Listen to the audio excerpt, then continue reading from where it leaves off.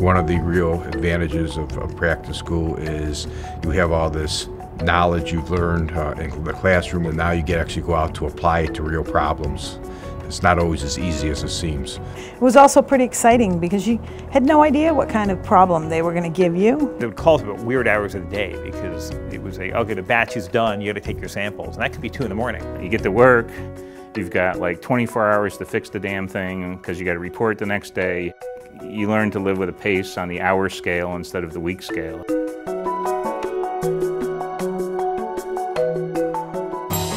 Frequently in a project you'll be days from life or death of that particular program.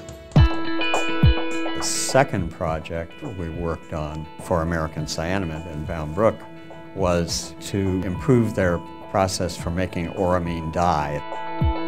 And it was a 16-hour reaction.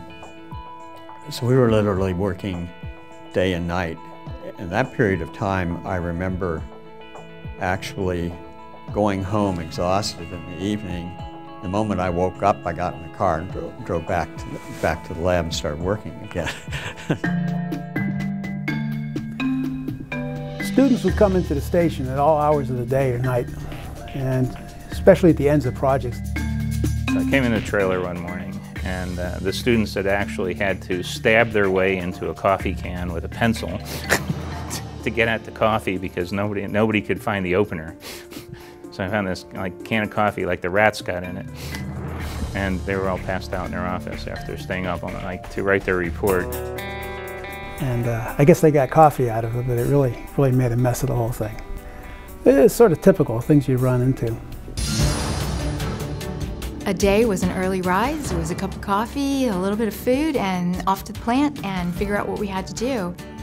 One of the most fun things I did in the first assignment when we were at the Solar Energy Institute, Tom Kenny and I, we, we did this computer model. And we had a report that was around 100 pages long, and we were trying to finish things up, and the computer crashed and took the entire file with it. I believe around midnight or thereabouts. And I remember Linda just saying, oh my God, oh my God, it's gone. It's gone. What's gone, Linda? Our entire project is gone. We had to recreate, basically from the recycling bin, our entire project. Pulled an all-nighter to get that whole thing back together. We got through the project.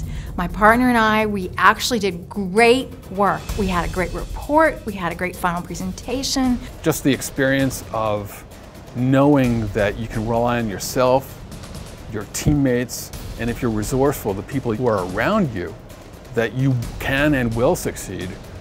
And I'd say today, when I get in a sticky situation, um, you know, that level of calm and confidence is still there, really to this day.